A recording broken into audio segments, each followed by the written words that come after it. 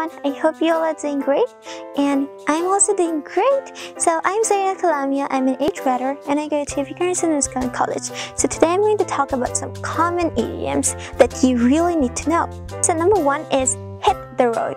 That means to leave. Um, you know what? If you're like watching a movie with your friends and you like remember that um, you just forget to uh, do your homework, then you can say um, I have to hit the road. That means you have to leave right now. So you can use this idiom there. Number two is fighting like cat and dog. That means is um, you know arguing continuously with each other. And so you can say if you I mean if your friends are arguing with each other, so you can say like you can use this phrase cat and dog. Fighting like a cat and dog. And number three is uh, cat got your tongue. That if you uh, in a situation you're not speaking and, and you need to speak but you're not speaking.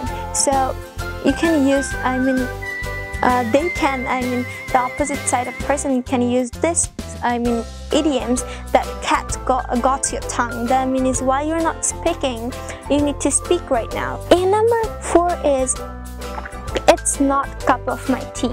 That means I don't care about that. Like um uh, let me give you an example. If anyone is um, doing something and uh, your friend is ask I mean telling you like uh, did you see what he is doing? Then she can say like uh, it's not cup of my tea.